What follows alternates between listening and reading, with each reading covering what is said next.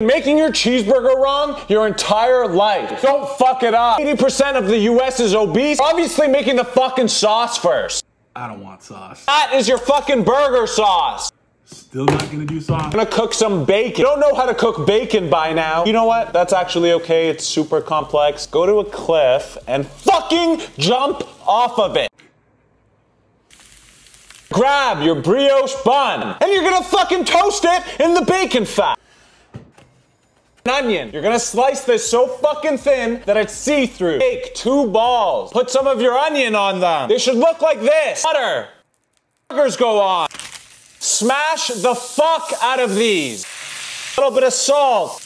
American cheese. Gonna cover it on both sides. Still don't want sauce. Lettuce, Tomato. I ain't putting no rabbit food on my burger. and that's how you make a fucking cheeseburger.